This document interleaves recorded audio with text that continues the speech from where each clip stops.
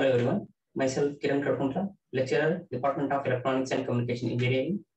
Today, in this session, that is session 2 of Unit 1, we are dealing about bioelectric potential. So in the previous session, we have discussed about the cell, that is the human body cell. In that session, we understood what is the meaning of a cell. What is the meaning of a cell? That is, cell is a basic building unit of a human body. That means the human body is made by the group of cells. And then we have understood the characteristics of a cell, like its length, diameter, its membrane thickness, okay? So, and the quantity or number of cells present in the human body. Later on, we have understood that uh, its structure, that is, the cells have a centrally placed nucleus, okay, which will be uh, responsible for the action of that cell. Then we have seen nu uh, nucleoplasm surrounded. Then we have a nucleus membrane. Upon that, we, uh, it has a uh, cytoplasm and it has a nucleus uh, cell membrane. So, and cell membrane separates the cytoplasm with the neighboring cells. So, we have seen the structure of a cells in the previous session. And in this session, we will be understanding the potential generated in the human body. Okay, because in the previous session, we also seen that the different sources of the uh, human body, there is a biopotentials. In this, we are going to deal one by one the different potentials and basically mainly we will be dealing with the potential generated by the human body. Okay, let's begin with this session. So the bioelectric potential means we know the electric potential. Electric potential uh, means the normally the electrical signal what we will get. But here we are not dealing with the electrical signal, we are dealing with the bioelectric signal. Bioelectric signal means the signal generated by the human body.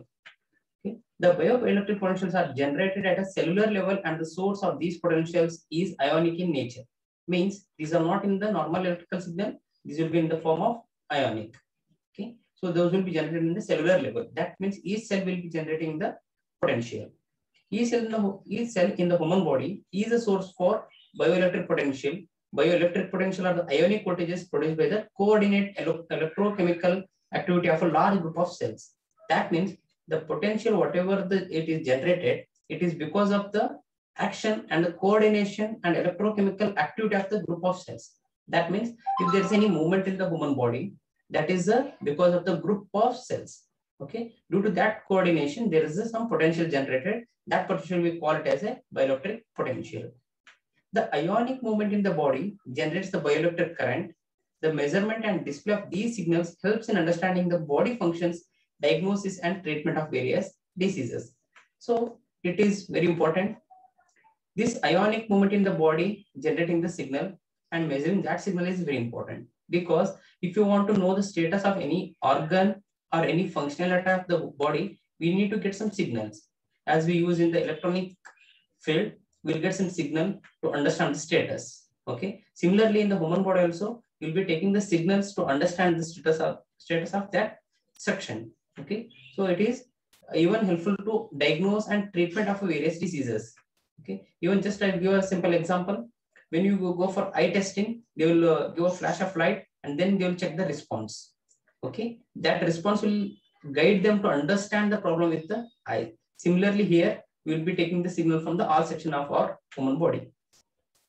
So this is a chart of mentioning the different bioelectric signals.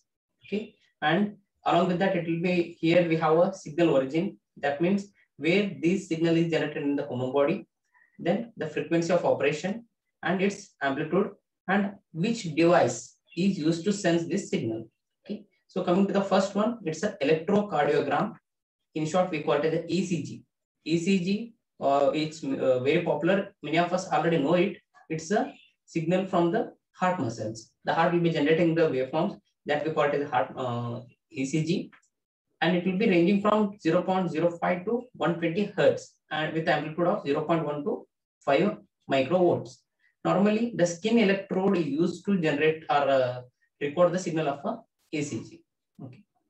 Next, we have one more bioelectric signal that is a electroencephalogram. In short, we call it as a EEG.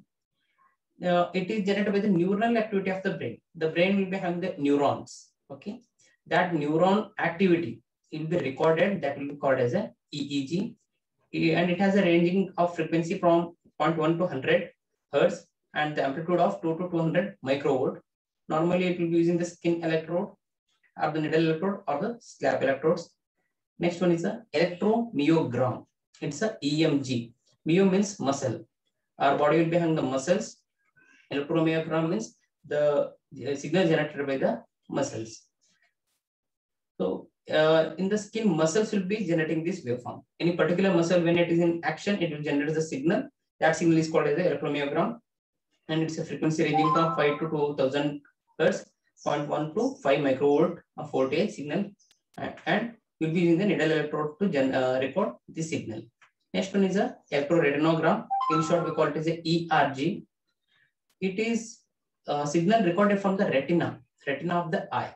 Okay and normally their uh, frequency will be DC to 20. DC means no frequency, zero, we know that from uh, 0 to 20 hertz. And the voltage is 0.5 to 1 microvolt. Normally contact electrodes are used to record the this signal.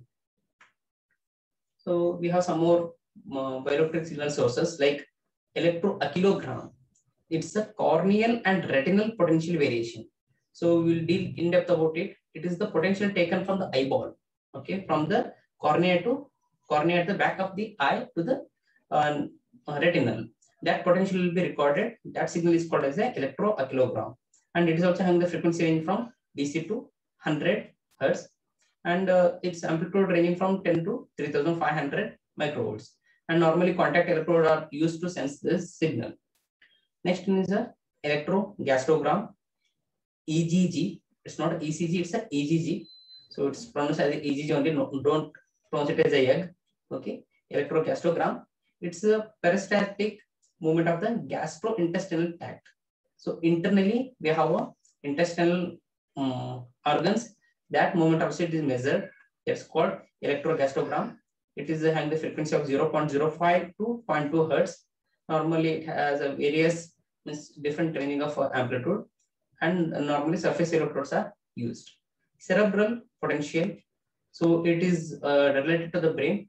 So in the brain, we have a different section like cerebrum, cerebellum, okay, brain stem.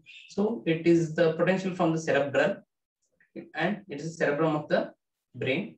The frequency will be 10 to 1 lakh hertz. Okay.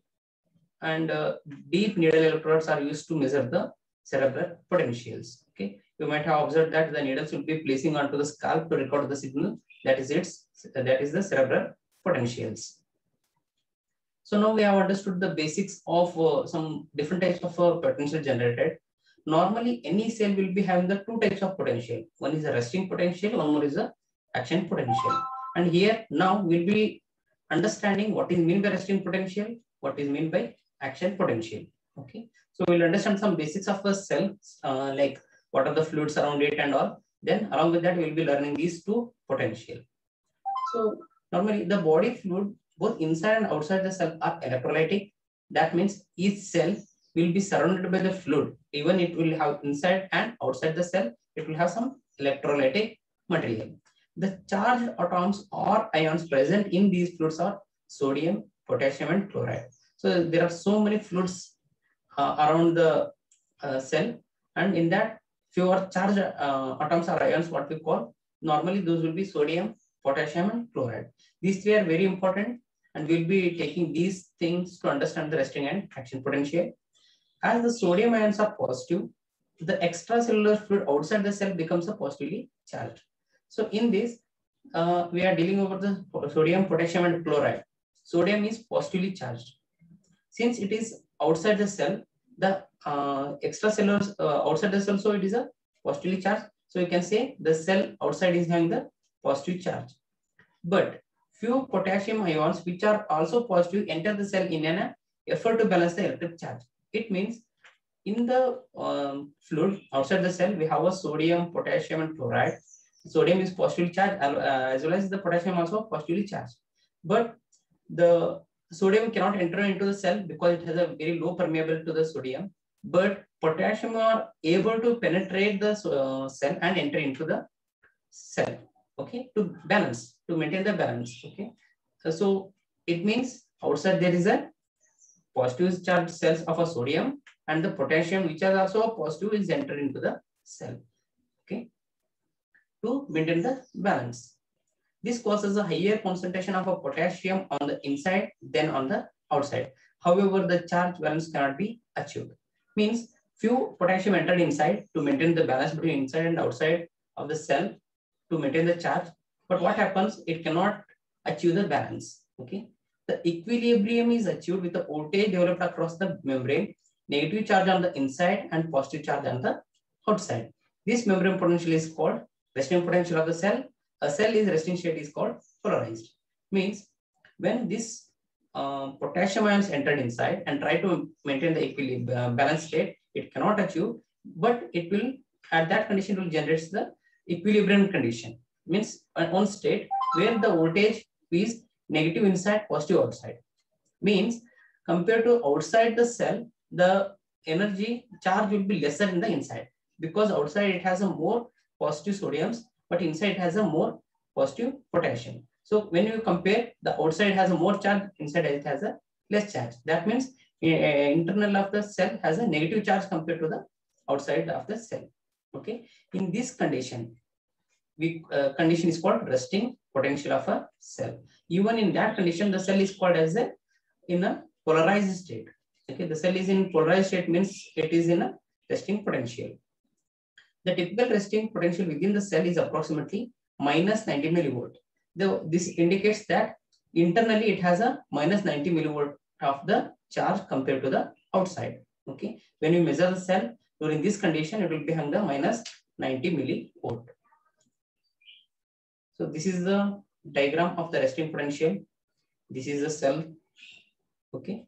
So you can observe here, initially all the fluids will be surrounded by the cell, surrounded to the cell and the it will uh, have a low permeability to the sodium, so they cannot enter. Okay, but the potential uh, potassium are able to enter inside. So it will have a energy here, charge here. It is a sodium has a charge here, but compared to the outside, it has a less charge, so it is a negative compared to the outside. So when you're measuring here, you'll be getting the minus 90 millivolt. That is it's shown as a positive outside and negative inside. So this is all about the resting potential. Okay. So uh, now we understood how what are the fluids surround inside and outside the cell and when during the normal condition, what is the resting state. So now we will understand the one more potential type that is the action potential. So I told you resting potential means it is in a polarized state. Now it's trying to depolarize it. The cell in the resting state can be depolarized by electric stimulation, chemical stimuli, and mechanical force. That means now it is polarized. If you want to depolarize it, okay, then it is possible by the electrical stimulation. Stimulation means what? The external input. So ಹೊರಗಡೆಯಿಂದ input ಕೊಟ್ಟು ಅದನ್ನ ನೀವು ಏನ್ ಮಾಡಬಹುದು depolarise ಮಾಡಬಹುದು okay so electrical signal ಕೊಟ್ಟೋದಾಗಿರ್ಬೋದು ಕೊಡೋದಾಗಿರ್ಬೋದು ಇಲ್ಲ ಕೆಮಿಕಲ್ ಸ್ಟಿಮ್ಯುಲ್ ಕೊಡೋದಾಗಿರ್ಬೋದು ಇಲ್ಲ ಮೆಕ್ಯಾನಿಕಲಿ ಒಂದು force ಕೊಡೋದಾಗಿರ್ಬೋದು when you give this it will have a depolarization. When the cell get excited, the permeability of the cell membrane to sodium ion increases and it allows some sodium ions to enter. So earlier in the resting potential, the permeability of the cell towards the sodium was low, so it was not allowing. Now we are given some stimulus. So it may be electrical, chem uh, chemical or mechanical, then its characteristics will change. So cell membrane characteristics change and it allows the sodium ions to enter inside. Okay. The cumulative action leads to avalanche effect in which sodium ions are at higher concentration outside the cell rush to the inside of the cell membrane. So in Aitiga, some uh, sodiums uh, due to changing characteristics of a membrane, the sodiums started entering inside. Okay. So when it is entering inside, the avalanche effect takes place. That means one will push the other, other will push the another. That means the heavy flow of sodium charges entering inside will takes place. Okay. At the same time, the potassium ions which are already present inside, okay, those will try to move outside, but those will move in the very slow rate. So sodiums are uh, entering inside with a higher speed and the potassium inside is moving out with a lower speed. In that condition, there is a one potential existing. Okay. So due to this imbalance of potassium, uh, potassium ions, the cell has slightly positive potential on inside. This potential is known as an active potential. So now we understood that the sodium which was outside now entered inside and the potential which was inside during the resting state is moved outside. Okay. In this uh, state, the inside will have a more positive compared to the outside because high amount of sodium entered to the cell. So this can uh, the this time the potential what it generated it called as a active potential. The typical active potential within the cell approximately plus 20 millivolt. Now we understood that internally it has more positive compared to the outside. When we measure that cell, it will be the plus 20 millivolt. The process of exciting the cell so as to change from the resting state to action state is called depolarization. So uh, normally in the resting state, we call the cell is in polarized condition. When we change that state from resting to action, we call it as a depolarization because it is moved from polarizing to the depolarizing. So we call it as a depolarization. Okay. So this is the diagram of action potential. You can observe here when some external stimulus is given, the sodium Na plus are trying to enter inside, the arrow mark with the inside shown, and the potassium K plus, which are already exist inside the cell, they're moving outside. You can see here with the outside arrow mark. So they are moving, but these sodiums are entering with a higher speed and potassium are moving outside with a low speed. Okay. So here, this diagram shows you the potential existing. When it has uh, this moment, internally it will have more positive and the outside has a negative, means less compared to the inside. So we, uh, this difference we can observe like this is a positive and the outside is a negative. When we measure inside the cell, the potential it will be plus 20 millivolt compared to the outside potential. Okay, this is a voltage or potential difference exists between the internal to the out, uh, out outer side of the cell. Okay, so it will be on the plus 20 millivolt. So we understood what is meant by potential, biopotential, okay, and we understood the resting potential and action potential, and even we understood one term called depolarization, changing the state from resting to action potential. Even you may, you may call that the cell changing the potential from minus 90 millivolt to the plus 20 millivolt. Okay, so this is all about the today's session. We understood the potential of resting as well as uh, active potential polarized to the depolarized condition. Okay. I hope uh, it is clear about the topics. Thank you.